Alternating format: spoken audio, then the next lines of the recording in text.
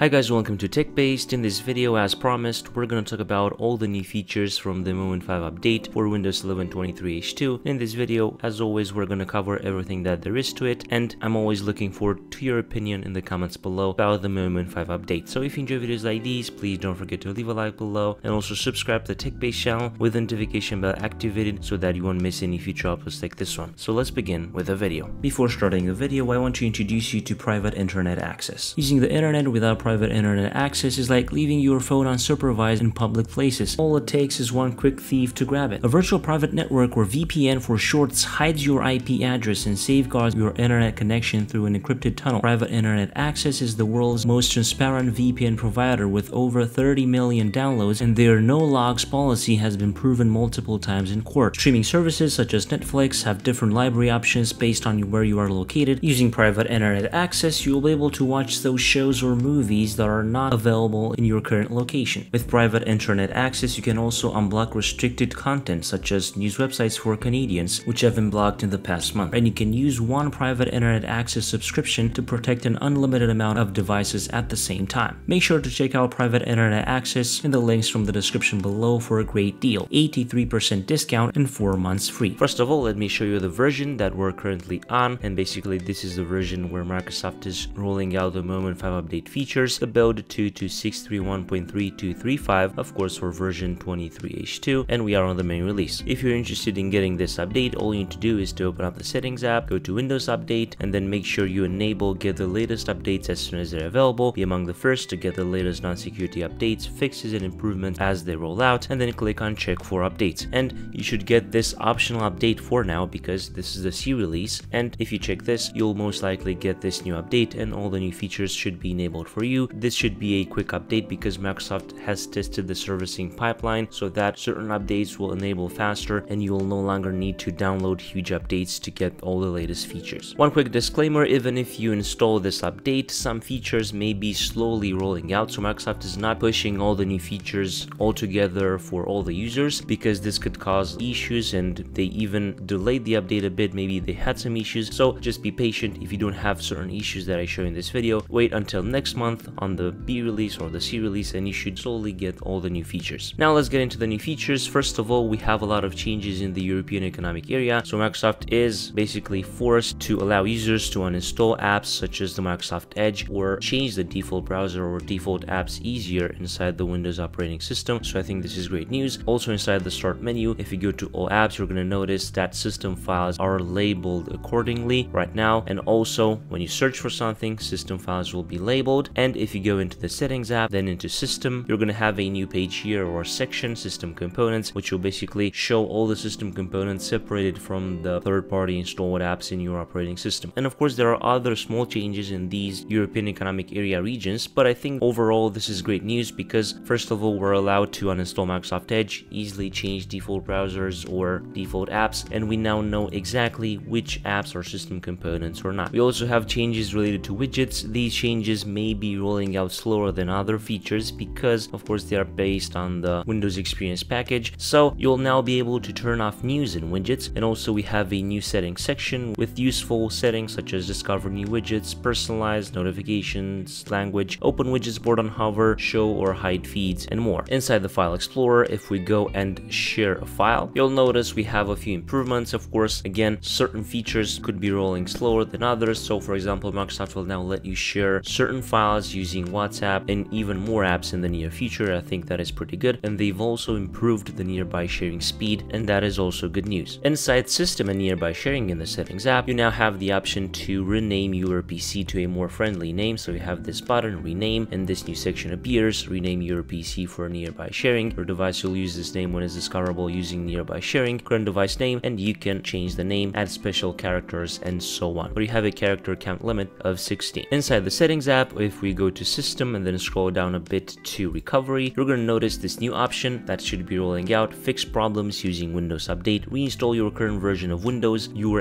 apps, files, and settings will be preserved. Basically, this is another way of resetting your PC, but this will use the Windows Update servers to reset your PC, and you'll basically get the official Windows image that will help you fix the problems and reinstall your current version of Windows. If we click on reinstall now, we're going to see this section appears, we'll repair components and system files. Of course, the computer has to be connected to a network and a power source, and you can select to automatically restart the computer 15 minutes after the installation. And I think this is a pretty good new option that will help a lot of users fix their Windows problems. We also have some changes inside the start menu. So for example, recently installed apps will be sometimes grouped to a group similar to the pinned apps section. So basically you're going to notice a new folder inside the recommended section called recently installed apps, which will group those apps that you recently installed. Also inside the recommended section of the start menu, if you have a work laptop or something like that, you could receive notifications about upcoming team meetings five minutes before a meeting is about to start. Inside the file explorer, we're getting the new snap assist suggestions. So basically if you hover over the maximize button, you're going to notice these new suggestions. If you have multiple apps opened, basically you're going to be able to quickly snap your window to a portion of the screen. Or if you have apps opened, you're going to be able to snap all the apps at the same time. So for example, I have the file explorer, paint and notepad app. If I'm going to click on that, they will be quickly snapped to those portions. And I think that is pretty good. Basically the new addition being that you get certain apps that are opened recommended to quickly snap with. I think this should be pretty useful. Now related to Windows Copilot, the new AI assistant in Windows, you're to notice that the AI assistant will be moved to the right side of the taskbar, which is also something new. And basically its functionality remains the same, but its icon is moved from the center, from here to the right side of the taskbar. And also if you right click on the taskbar and then go to taskbar settings, then taskbar behaviors, you're going to notice that you can enable select the far corner of the taskbar to show the desktop because after Microsoft enables this by default, you will no longer have this button that will show you the desktop, but you can enable that from taskbar settings. Inside the settings app, we have this new section inside Bluetooth and devices and then mobile devices. And this page will be different. You will have some new sections. Of course, down below you have the section where you can turn phone link on or off, basically connect your phone to Windows, instantly access your mobile device from your PC. But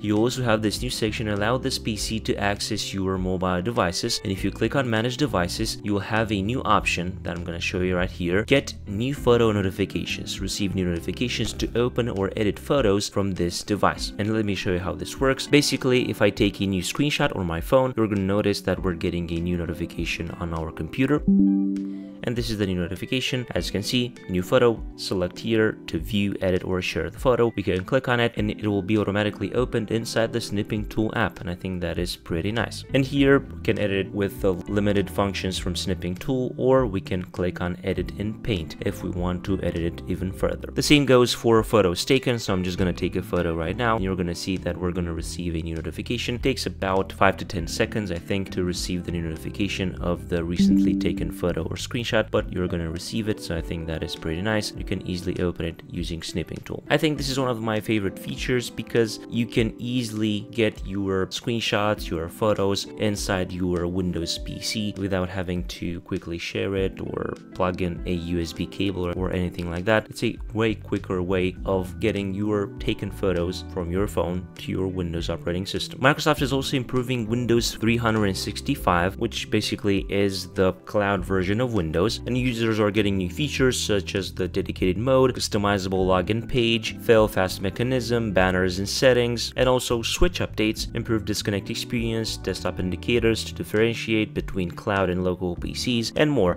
Of course, in the article below, you're going to have more info about these on the official Microsoft website. I'm not going to go in depth with it because I'm not using Windows 365. I'm sure that a lot of you guys are also not using this version of Windows. There are also improvements for the task manager. So basically, Microsoft worked on the process grouping updates and this should be now more reliable and um, I think it's good because maybe sometimes the process updates were a bit weird. Right now they should be okay in this um, Moment 5 update for Windows 11. Also the desktop work area should now be animated so what that means basically if you have a window opened or multiple windows opened on your desktop when you open an app such as the voice access or narrator and that overlays the windows that you have currently opened they should automatically be moved and it will have a nice little animation. I think that is also really nice. A small change in this build is, for example, the Steps Recorder app, which is being deprecated, and you have this new banner inside the app. This tool is being phased out. Click here to explore alternatives. Basically, some alternatives are the new Snipping Tool app that also supports recording and taking screenshots. Microsoft's also improving Windows Ink or Shell handwriting for more languages. I think that is also pretty nice. And we have a lot of voice access and narrator improvements. I'm just going to show you some voice access improvements. I'm going to open it, then I'm going to have to set it up. Now inside voice access, you're going to notice that you have support for more languages, for example, English, multiple dialects, and also if we go to this question mark and then go to view all commands, you're going to notice this new section, voice shortcuts. Save time by creating your own voice command shortcuts for one or a series of actions. You can click on create new shortcuts, you can give it a name, for example, file explorer, perform action, open file, and you can select the file or you have a lot of options to choose from. Press mouse, click open URL and more, and add the shortcut to group. You can create a new group, and I think this is a pretty nice new addition, which will basically allow you to create your custom voice shortcuts, which will help you in your daily use of Windows. And as I've said, we also have some narrator improvements, for example, voice preview experience, image consumption experience, and UI changes inside the app. If we press Windows plus K on our keyboard, we also have some screencasting updates, which basically allows you to connect your computer to an external monitor, and you'll have some new info that will help you in this. For example, can find a device quick link, which will open Microsoft Edge with more info, or you have below more cast settings, which is a quick link to the settings app. In this update, we also have some app updates. First of all, the Notepad app was updated. It now shows you the total amount of characters from a document, and if you select only a text, it will show you that selected text characters out of the total amount, and I think that is pretty nice. Also inside the operating system, for example, in the File Explorer, if you go to a different section and right-click on a file, you're going to have this new Edit in Notepad button, which will allow you to edit it quicker using Notepad. And if you select certain texts, this is also slowly rolling out. Right-click on it, you're going to have a button Explain with Copilot, which will allow you to quickly get that text into Windows Copilot, and Copilot AI will try to explain it for you. We also have a snipping tool app update, which will basically allow you to add shapes and more things inside the editing section. It will allow you to change colors, change the thickness of shapes and lines, whatever you're adding. I think this is also a great addition. And finally, we have an update for the Photos app. So I'm just going to open a photo here, then go into the editing section. And we have here this new thing, which is called generative erase preview. Of course, this will use AI and you can auto apply this brush size. And basically, if you select something, you can erase an area or an object using AI.